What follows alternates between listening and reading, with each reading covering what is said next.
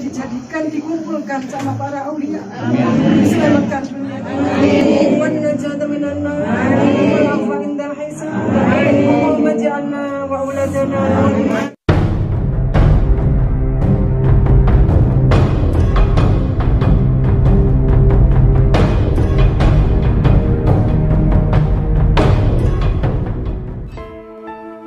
Assalamualaikum warahmatullahi wabarakatuh. Ketemu lagi dengan channel Jejak Santri, yang selalu update setiap hari seputar kabar keislaman, yang selalu erat dengan kehidupan para santri di seluruh Indonesia. Sebelum menonton video channel Jejak Santri ini, silahkan like, subscribe dan like dulu video ini, semoga channel ini bisa membawa manfaat untuk kita semua, amin. Mengalap berkah penghujung tahun di Gua Safarwadi Pamijahan Tasikmalaya. Bagi Anda yang pernah berwisata religi di kawasan makam Syekh Abdul Muhi, Pamijahan, Kabupaten Tasikmalaya, Jawa Barat, tidak afdol rasanya jika tidak masuk ke dalam gua keramat Safarwadi yang ada di kompleks pemakaman itu.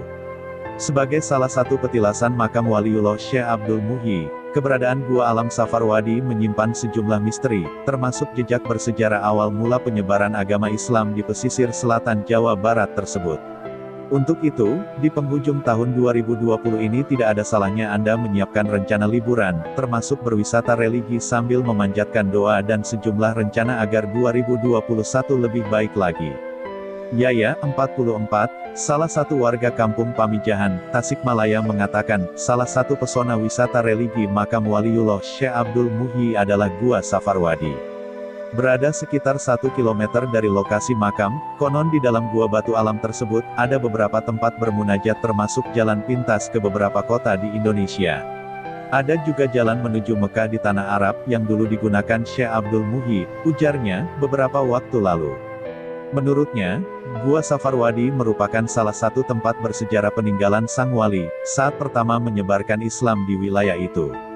Pernah juga saat itu digunakan untuk pertemuan para wali songo saat merencanakan penyebaran agama Islam, kata dia.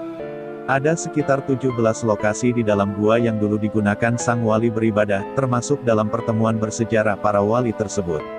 Sebut saja tempat bersemedi atau mendekatkan diri pada ilahi. Istilahnya tempat takorup mendekatkan diri, kata dia.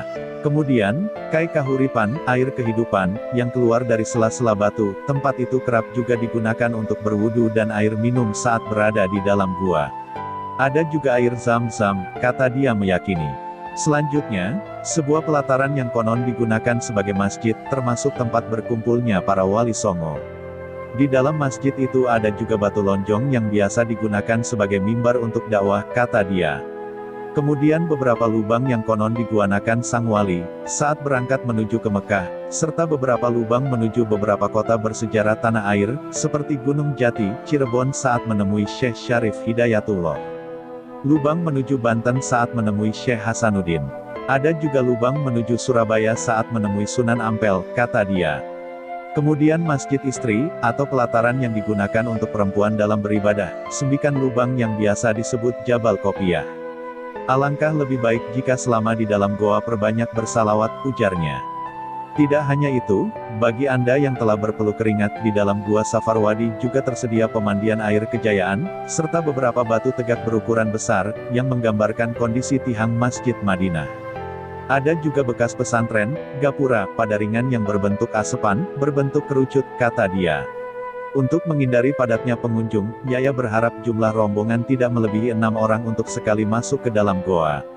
Selain pengap kondisi dalam goa juga kan gelap gulita, jadi harus berhati-hati juga, ujarnya mengingatkan.